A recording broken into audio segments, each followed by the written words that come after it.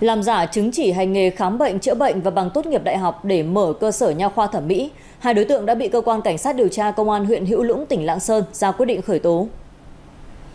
Trước đó, vào ngày 29 tháng 9 năm 2022 tiến hành kiểm tra đột xuất đối với cơ sở nha khoa thẩm mỹ quốc tế trường hải 68 tại thị trấn hữu lũng do dương minh hoàng và phạm thị thúy hằng làm chủ cơ sở. Đoàn kiểm tra phát hiện trên các giấy tờ tài liệu do hoàng và hằng xuất trình có nhiều dấu hiệu nghi vấn là giả qua điều tra, công an huyện hữu lũng đã làm rõ các chứng chỉ định hướng chuyên khoa răng hàm mặt, chứng chỉ hành nghề khám bệnh chữa bệnh của hai đối tượng và bằng tốt nghiệp đại học y hà nội của dương minh hoàng đều là giả. Các đối tượng đã đặt làm giả các giấy tờ qua mạng xã hội với mục đích để làm hồ sơ cấp giấy phép hoạt động, đối phó với lực lượng chức năng. Mặc dù bị thanh tra, sở y tế tỉnh lạng sơn yêu cầu tạm dừng hoạt động, nhưng cơ sở này vẫn tiếp tục hoạt động, thu lợi bất chính của nhiều người đến khám chữa bệnh.